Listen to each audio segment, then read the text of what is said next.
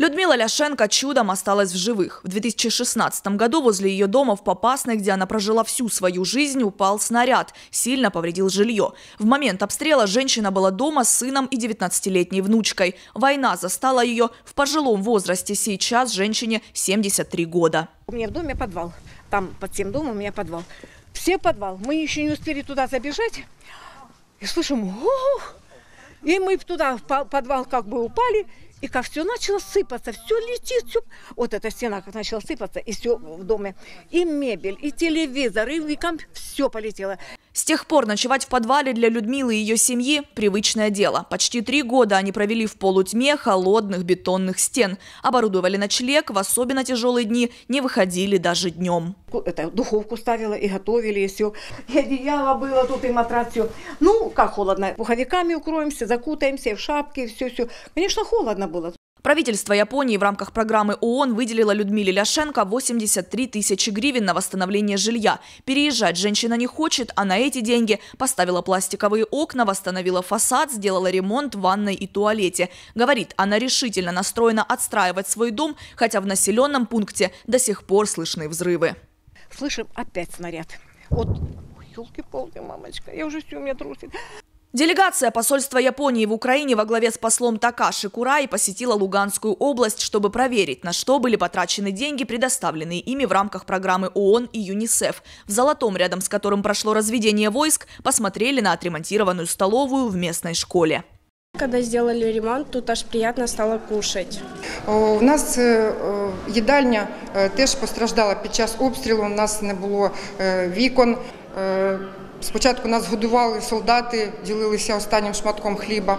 А коли з'явилася наша їдальня завдяки цим людям, ми зараз маємо змогу зібрати громаду. Ми вирішили зробити їдальню таку, якої ще немає у нас в Попаснянському районі. Благодаря иностранной помощи в столовой поменяли окна, сделали капитальный ремонт помещения и закупили всю необходимую мебель и посуду.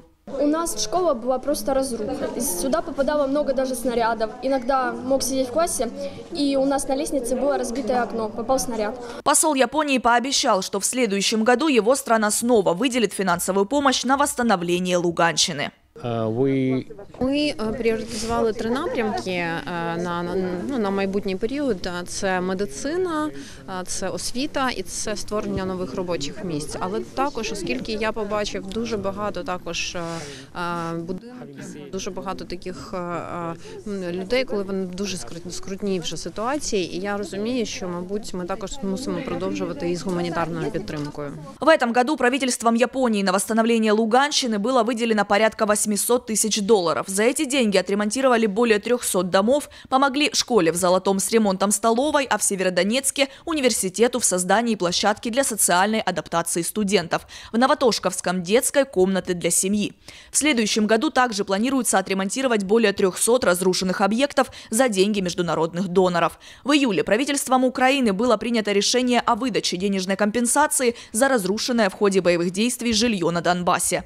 Предельный размер компенсации составит 300 тысяч гривен, но у экспертов есть серьезные сомнения касательно воплощения идеи Кабмина в жизнь. Ведь планируется, что компенсацию будут выдавать из госбюджета, но эти деньги будут включены для возмещения в консолидированную претензию Украины к России как стране-агрессору. Отримання компенсації за житло, яке було зруйновано, буде відбуватися поетапно дві, дві черги. Перша черга ті, хто залишились на території населеного пункту або межах, і другі ті, хто виїхали за територію населеного пункту. Того, чого немає зараз в теперішній основі И пока депутаты Верховной Раде разбираются в законодательстве и продумывают механизм выплаты компенсации за разрушенное жилье, люди вынуждены обращаться за помощью во все международные организации, писать проекты по восстановлению жилья и разрушенной инфраструктуры и доказывать, что действительно нуждаются в деньгах для того, чтобы хоть как-то выживать в прифронтовых населенных пунктах Донбасса.